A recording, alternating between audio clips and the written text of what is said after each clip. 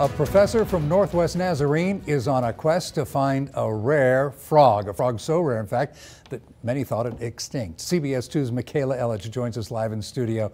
So, Michaela, what's up with this frog?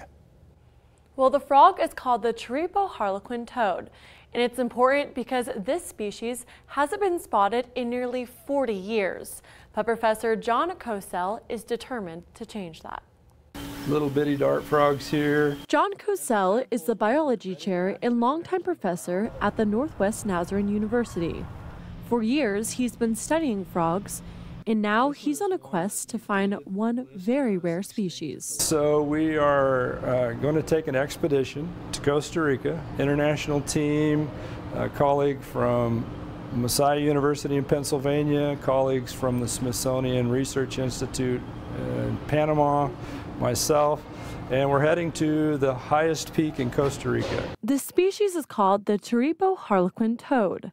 These guys, they're just little brown frogs with kind of an orange tummy. They they're a little bit squat like a toad, like we're used to seeing toads here. They're only found in the Chirripo Mountains, and last time it was seen was around 1980. The site where the frogs were seen is another day's hike or so away from the, the summit.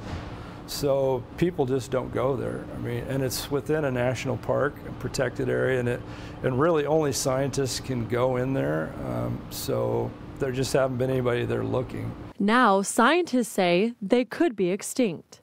Globally, there have been a lot of declines and extinctions, and so it's kind of trying to take an assessment of where we are so we can best know how to conserve what we've got left. But John is determined to find them. You want to try to maximize your likelihood of finding them.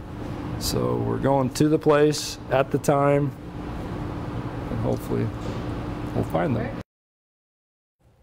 John and his colleagues are headed to Costa Rica starting March 16th and will publish more about their expedition within the following weeks. Live in studio, Michaela Ellich, CBS 2 News.